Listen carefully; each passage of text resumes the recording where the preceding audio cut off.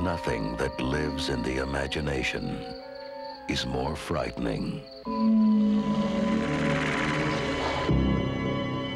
than the terror that lives in Castle Rock, Maine.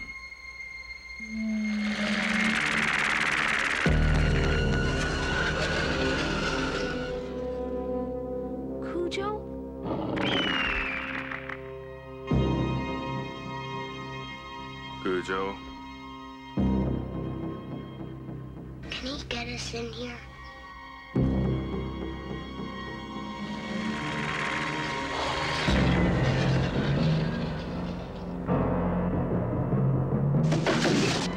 Can he eat his way in here?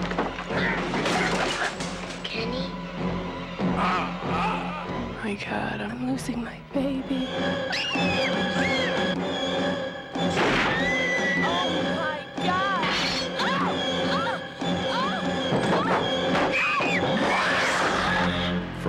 Novel by Stephen King, creator of Carrie and The Shining, comes a startling vision of fear. Please, God, get me out of here.